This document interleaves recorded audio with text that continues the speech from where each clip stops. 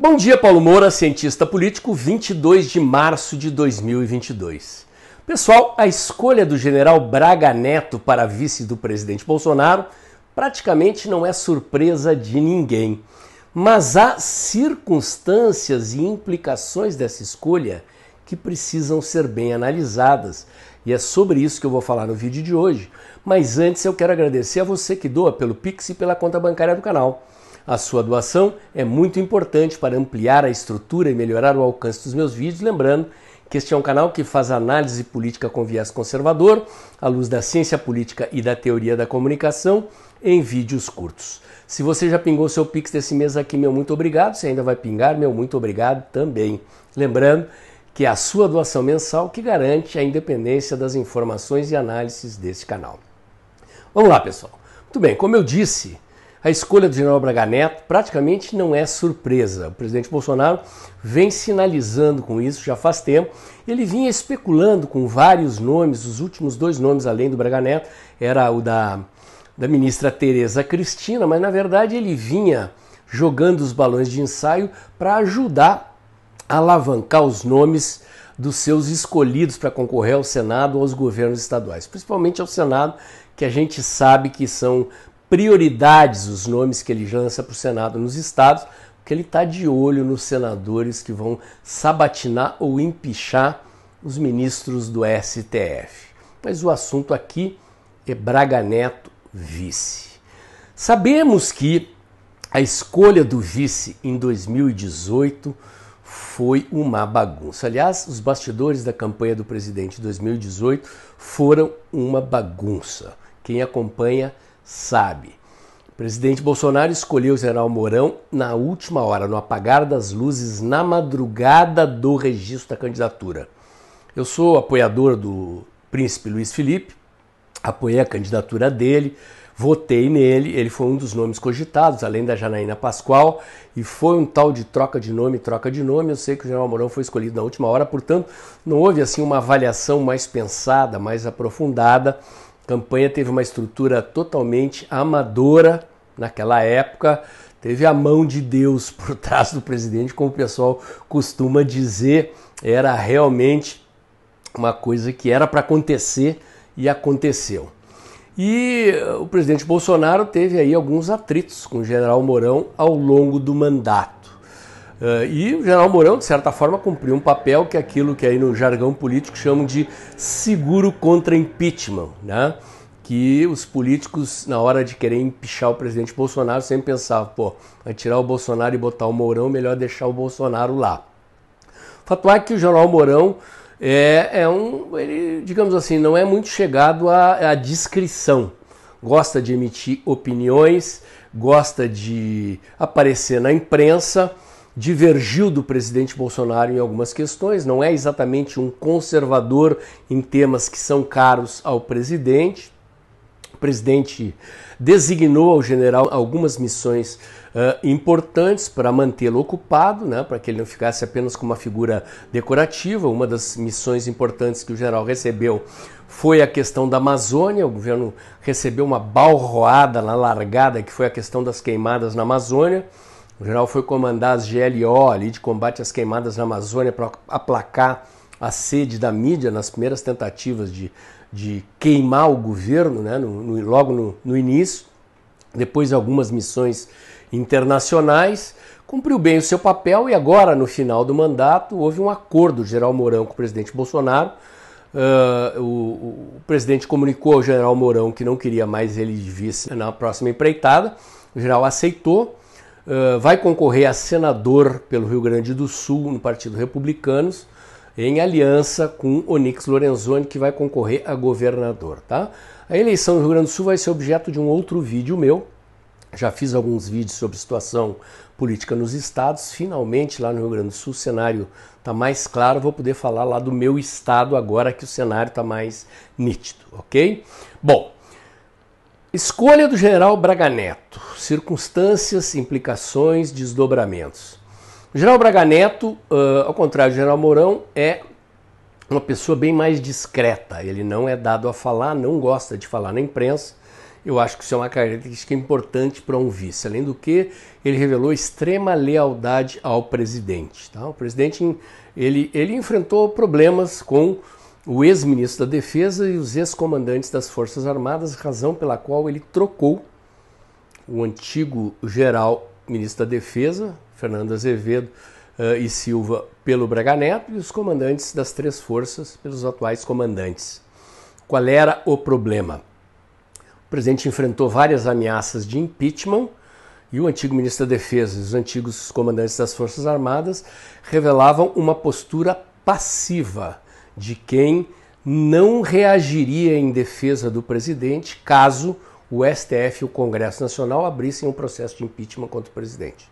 Esta foi a razão da troca. O presidente não se sentiu sustentado pelos ex-ministros e chefes militares das forças e substituiu-os por Braga Neto e pelos atuais comandantes. E Braga Neto, apesar de discreto, é e foi leal ao presidente o tempo todo. Inclusive esteve no 7 de setembro no palanque com o presidente, esteve em motociatas, em, em várias situações em que o presidente se manifestou politicamente, embora sem se pronunciar. Lá no 7 de setembro falou poucas palavras. Braga Neto esteve sempre ao lado do presidente, sinalizando publicamente que estava ali avalizando as atitudes políticas do presidente. Em linguagem militar, em linguagem política, isso é muito importante. Sinalização, simbolismo, lealdade. O presidente quer isso. Serve Braga Neto também, como serviu Mourão, de seguro contra impeachment. O presidente não quer um político de vice, porque a profissão de político é a profissão de quem almeja o poder. A consequência disso é que quem está ali pode querer o cargo do presidente no caso de abrir-se um processo de impeachment. Militares, em tese, são leais, o presidente é o comandante em chefe das Forças Armadas. Na fase inicial do governo, muitos generais torciam o nariz para o presidente como capitão. Acredito que o presidente Bolsonaro superou isso. Certamente ainda há uma ala dos militares desgostosa com o presidente. O exercício do poder muitas vezes implica em você ter que jogar cargas ao mar. Tem uma ala dos militares desgostosa com o presidente, Santos Cruz e outros. E esta ala dos militares, isso é uma questão importante também a ser tratada aqui, estava se articulando em torno de Moro. Moro naufragou, não tem mais nenhuma chance, nenhuma perspectiva de poder, pelo contrário, essa candidatura dele está declinando, já está abaixo do Ciro Gomes. Não que o Ciro Gomes tenha crescido, o Ciro Gomes está estacionado. O Moro ultrapassou o Ciro caindo e acredito que vai cair mais. O Podemos já tirou dinheiro da campanha presidencial, vai destinar o pouco dinheiro que o Podemos tem para os deputados, para fazer bancada e sobreviver à cláusula de barreira. Consequentemente, o Moro vai ter que se virar arrecadando dinheiro na iniciativa privada para fazer a sua campanha. Se dependesse do Podemos, o Moro teria que sair da, da campanha presidencial. Vão deixar ele pendurado no pincel, sem escada. E os militares que estavam se articulando em torno de Moro ficaram sem pai nem mãe. E isso significa o quê? Que uh, os militares, ou pelo menos a maioria dos militares do oficialato, que hoje é um pilar de sustentação do governo do presidente Bolsonaro, seguirá com o general Braga Neto, na liderança dele, seguirá com o presidente Bolsonaro. Isso é uma questão importante porque as Forças Armadas uh, oficialmente né, não são partido político, não estão na política como instituição, mas a presença dos militares no governo, militares da reserva principalmente, foi um pilar de sustentação deste governo.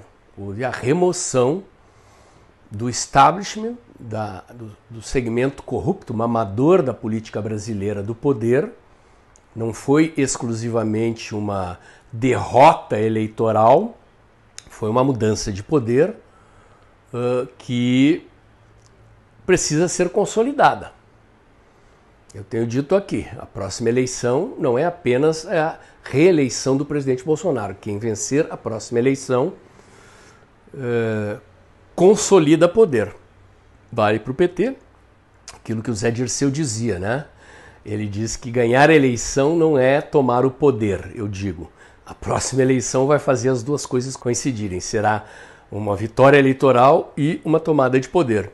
Vale para o presidente Bolsonaro e para nós que o apoiamos.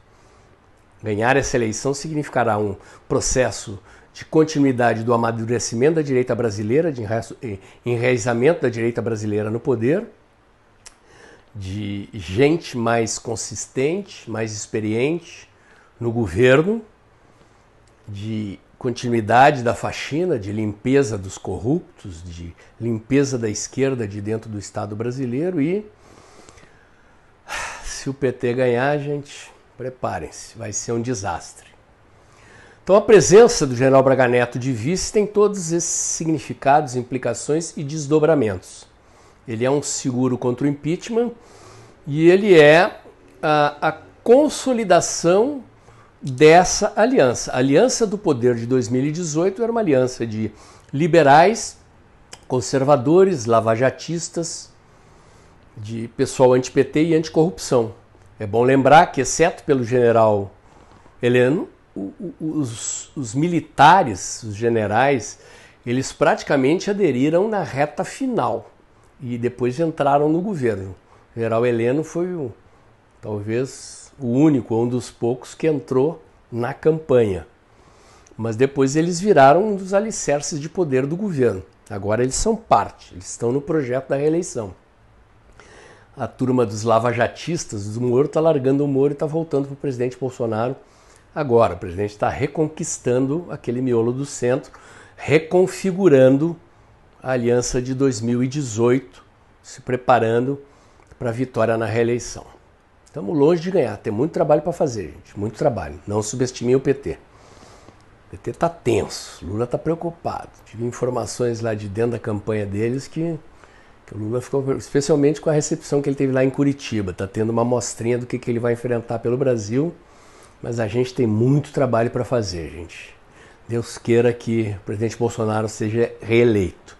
Mas enfim, a escolha do presidente Bolsonaro pelo general Braga Neto tem esse significado, essas circunstâncias, essas implicações e esse desdobramento. Eu sempre achei que recairia a escolha sobre o general Braga Neto, acho que a escolha está certa. Meu comentário de hoje era esse. Se você gostou, curte, comenta e compartilha. Bota o dedãozinho lá. Aperta o sininho para o YouTube avisar você quando tem vídeo novo no canal. Acompanhe meus comentários diários também nos meus canais alternativos, o Dextra by Paulo Moura do Telegram, o Dextra Jornalismo da COS.tv. Acompanhe meus comentários diários no canal Tempo e Dinheiro do jornalista João Batista Olive, de segunda a sexta-feira, logo antes das duas da tarde. E lembre-se que o vídeo está acabando. Logo depois da vinheta, pinga seu Pix mensal aqui, porque é o seu Pix que garante a independência das informações e análises deste canal. Amanhã tem mais.